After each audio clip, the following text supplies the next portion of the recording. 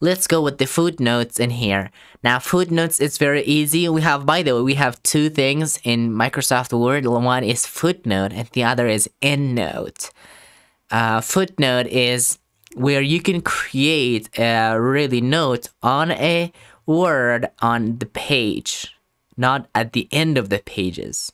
Okay, on a particular page. For example, this powerful word is in this page, and you can insert a node in this page. How you can do that? So you can click on it, and right now you can see it says paragraph one, and I hope you can see that. Okay, powerful one, and then in here it says one. You can say an example, okay, or maybe you just define it, okay, what that word means. And about the endnotes, it's a, it's a little bit different. For example, uh, you want to have with way in here, you want to go with way. Uh, so you insert endnote, and this will insert at the end of your document. So that's the only difference. So it's called Y. That's why it's called endnote. So you can click in here. Now this is the end page and it's uh, and there isn't added I can add its define in definition alright so that's it I'm gonna go back again uh, let's go back again to the particular pages we want it I'm gonna zoom out to look even nicer okay this looks nicer okay this font by the way this font is really great and it's very awesome so that's about the endnote and footnote. I can go to next footnote or I can go to previous. I can go to next endnote and previous endnote as well.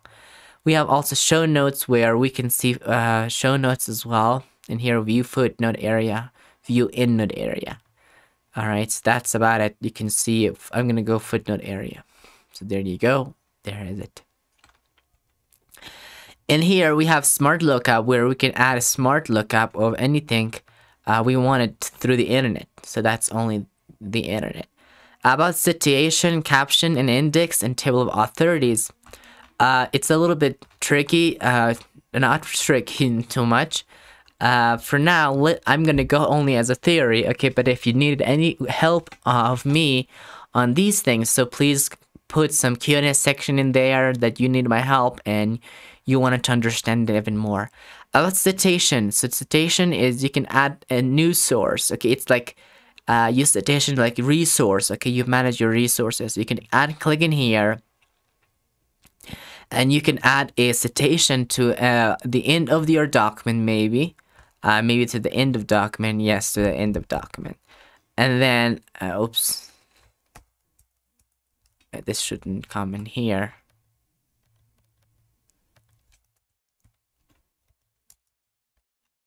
Okay, let's me just undo that. Okay, we're gonna undo that. We're gonna go to the end page and hit enter. So you can add citation to your end document like add place, add new source holder, add new source, or add placeholder. So you have two choice. Add new source. You can add. You can say you can type of. You can choose the type of citation or resource or source and then you can add document. For example, it's a book. So you type the author, you type the uh, corporate author, title, year, city, publisher, all of that is available for you. Once you fill that information, you can hit OK and that is added to your document. So that is about the resource and source. And you can add also placeholder. You can click in here. Now this is a placeholder. And then you can say, uh, type your name in here. Uh, you can click on add citation uh, oops. And you can click in here. You have lots of things right in here. Convert citation to static text or update citation to bibliography or add source. You can have a lot of things. So it's placeholder and you can say type your so it's about the tag name okay? Type yourself. Let me just type you. Hit ok and it says type you and for now, we can, of course, we can't really write over it. It's only a placeholder. Uh, and we can only do that from the edit in here. Okay? We can do only edit in here. For example, one. So type and this is type group number one. I can only add it to the statistic. Also, I can add it to the static page in here, static text, and I can also edit source and add citation. So about this one, add source, I can come in here and I can choose anything I want. Okay, that's only the thing. Okay, that's the only difference between that, between the source and news between add new source and add new placeholder. Placeholder is somewhere it's something that you can add in here, and it and it also has placeholder, and you can bring later on from the add, from the source. But source is only adding source. So anytime you add a source or placeholder, this will be added to this part. We can also manage it from manage source. We can change their style in here. We can also go to here and to see more information about it. Now, for example, insert bibliography. And for now, I didn't have anything else, so that's why it's not showing up. So that's about citation and bibliography. Captions is where you add captions of images. For example, you bring an image in from here,